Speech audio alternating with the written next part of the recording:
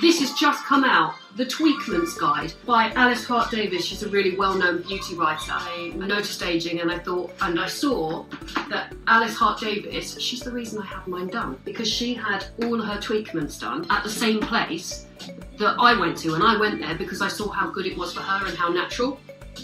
So this book is out now, I think, The Tweakment's Guide, and this is all the do's and don'ts. It's a very big book and it covers everything. So if you're interested and if you're after like advice on tear troughs and all that stuff, it's all in here and the best places to go. So check it out, guys.